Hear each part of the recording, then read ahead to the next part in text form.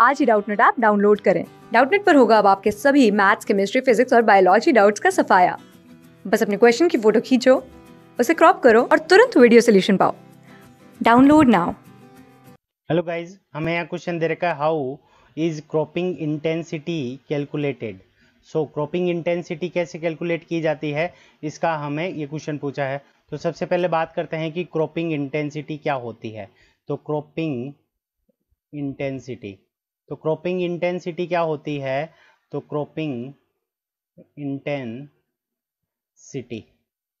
so cropping intensity का क्या होगा हमारा? जो सबसे पहले फ़िज़िकल सिग्निफिकेंस देखते हैं क्रॉपिंग इंटेंसिटी का क्या मतलब होता है?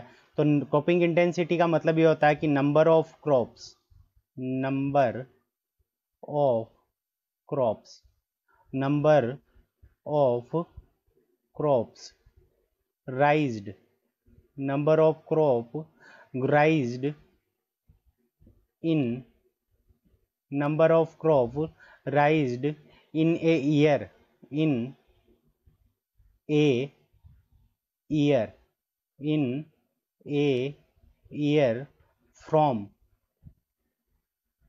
from a field तो number of crops raised in a year from a field यानी कोई भी हमारा कोई फ़ील्ड है, उससे कितनी नंबर ऑफ़ क्रॉप्स एक ईयर के अंदर राइज की जा रही है तो वो हमारा हो जाएगा क्रॉपिंग इंटेंसिटी अब क्रॉपिंग इंटेंसिटी का जो फॉर्मूला होता है, वो हमारा क्या होता है? तो cropping intensity cropping intensity so cropping intensity का जो हमारा फॉर्मूला हो जाएगा cropping intensity cropping intensity is a ratio cropping intensity.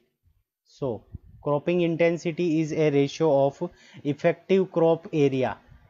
Effective effective crop area. Effective crop area.